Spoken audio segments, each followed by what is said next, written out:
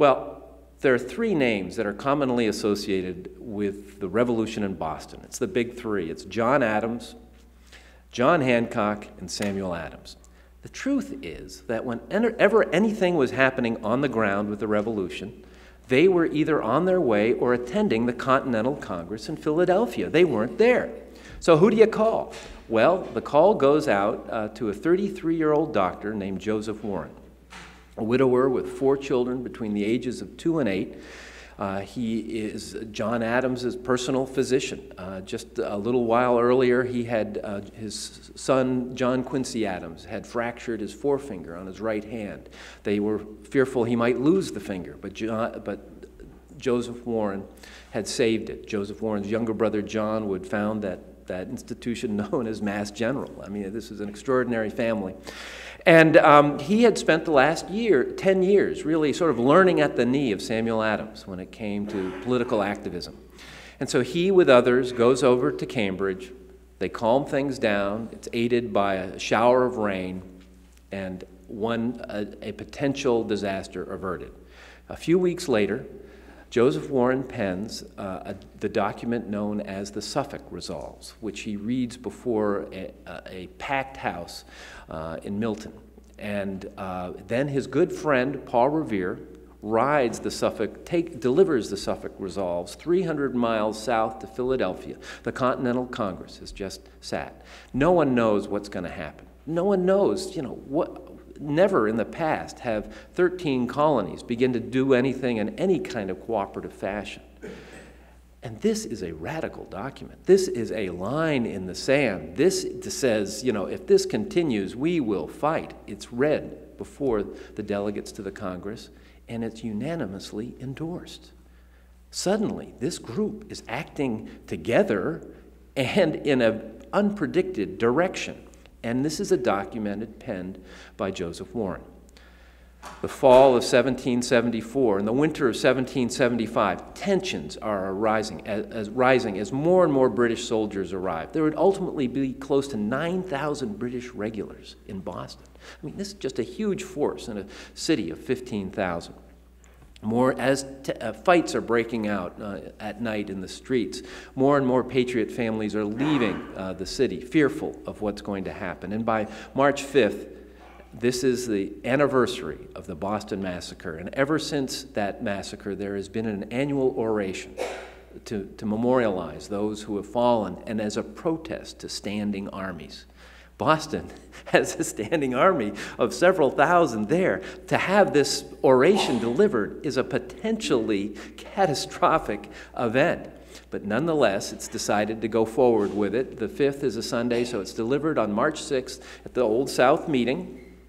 And guess who's going to deliver it? None other than Joseph Warren. 5,000 people are at the Old South meeting by 11 o'clock that morning. That's a third of the, the, the city's population. There are all, and every man, every Bostonian, it's, it is reported, has a cudgel in case things get to, to, to violence. There are 40 British regulars uh, in attendance. Samuel Adams makes sure these officers are crowded right in front of where the speaker will be standing. And there's no room to get in through the aisles. And so, in dramatic fashion, Joseph Warren enters through the back window. And get this it's reported that he is dressed in a toga. this guy had a flair for the dramatic. This was a different kind of patriot leader he delivers this wonderfully eloquent speech. The, Warren's handwritten copy of it is the Mass, at the Massachusetts Historical Society. And it's just fascinating to see this. And, and the best paragraph, as you can tell, is a late insert. You know, you can, you know, it's right over there. And, and you know, he's, he's got his toga on, he's got a handkerchief in one hand, and as, as the, the loyalist observers would say, he spoke with that Puritan whine, you know, that was known, you know, as the declaims. And, and at one point in the middle of his speech, one of those British regulars, in an act of defiance, raises his fist, opens it, and on his open palm are several lead bullets. What does Warren do? Without skipping a beat, he drops his handkerchief upon the bullets. The crowd loves it. He finishes his speech, what could, what could have been an incendiary speech. If Samuel Adams had delivered this, this would have ended up in chaos. What could have been was, is actually something that took the high ground. Uh, there was obvious tensions, but they got through it. Let's move to early April 1775. Now, it's getting really scary. Uh, it's, it's so dangerous in the city that by April 18, every Patriot leader has left the city, except for one man, Joseph Warren. You know, we've all heard of Paul Revere alerting the countryside that the regulars are headed to Concord. Well, who gave him the order?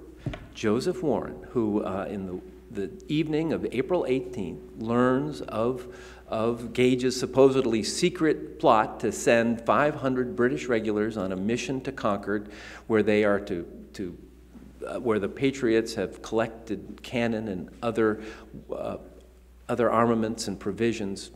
That's, the, that's a lightning strike, very similar to what, to what had happened, at, that incited what was known as the powder alarm uh, more than six months before. And so Warren discovers, learns of this, and he pushes the button that will start the revolution. Not only does his good friend Paul Revere head out, but William Dawes takes the land route across the neck. The countryside is alerted, and then when Warren awakes the next morning and learns that eight militiamen have been killed at Lexington when they confronted the British regulars on their way to Concord, he is able to escape the city. How he got across the Charles River is is kind of a marvel. He attends a committee of safety meeting. Uh, the committee of safety was operating as the, the, the, the, the organization that was organizing uh, the provincial, what would become the provincial army. And then he makes his way to Lexington, where he intercepts, where he's there by the time the British regulars, who have made their way to Concord and are now fighting their way house by house back towards Boston, they are now coming through Lexington, and Warren is there. In what's now the town of, uh, and Warren was apparently quite a snappy dresser. He, um, uh, it's comment, uh, commented on by several uh, observers of the time. And, you know, he wore these horizontal curls that looked that was very popular back then, and, and had apparently two hairpins, you know, holding everything in place. And in the town of Arlington, a British musket ball takes one of those pins out word goes, Whoa, you hear about Warren? He put himself so squarely in harm's way. That is, you know, this is a different kind of patriot leader. By the next morning, thousands of militiamen have flooded into Cambridge and into Roxbury, where they become the two centers of the army, almost literally surrounding Boston, which by this time the British regulars have re entered, and this now becomes a city under siege. Uh, the British Navy, which has a, a, very big presence in Boston Harbor, will maintain a lifeline out for the British Army. But when it comes to all of the land, uh, they are pretty much surrounded.